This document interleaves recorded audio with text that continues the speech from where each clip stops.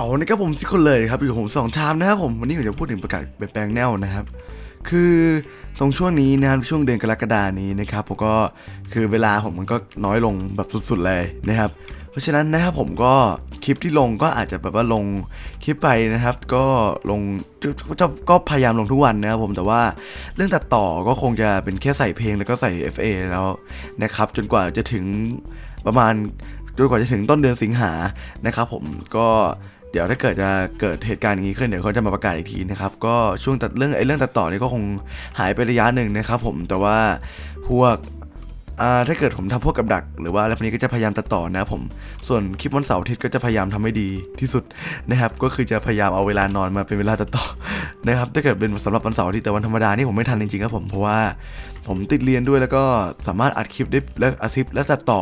ได้เพียงแค่วันศุกร์ หลังศุกสองทุ่ม แล้วก็วันที่เสาร์วันที่เสาร์นะตั้งแต่อ่าบ่าย2โมงนะครับผม แล้วก็มาอีกทีก็คือวันอาทิตย์ก็คือหลัง4โมง4โมงเย็นใช่ ประมาณ3โมงอะเออ3โมงเย็นนะครับผม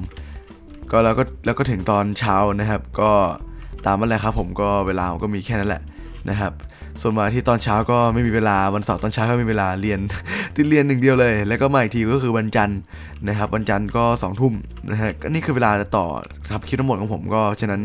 ช่วงนี้ก็เลยเวลาไม่ค่อยมีนะครับผมก็เพราะฉะนั้นก็ขอโทษตรงนี้ด้วยนะครับ เพราะฉะนั้นเพราะฉะนั้นเลยแล้วเหรอทำไมรู้สึกติดเขาเพราะฉะนั้นจังก็อ่อสำหรับคลิปนะครับผมก็จะเป็นไม่ตัดต่อในช่วงหนึ่งนะฮะแล้วเดี๋ยวผมนี่กลับมาตัดต่อเหมือนเดิม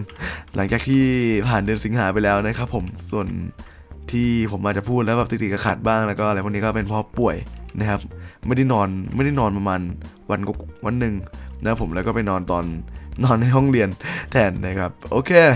นะครับผมก็สำหรับคลิปนี้ก็ผมมีแค่นี้นะครับ ก็ถ้าเกิดใครดูแล้วปวดหัวเพราะว่าผมกดเดพายเยอะเกันไปก็ขอโทษด้วยนะครับผมขอโทษครับ โอเคครับผมแล้วเจอกันใหม่ในคลิปหน้าครับผมก็ซีเกนครับเจนครับบาย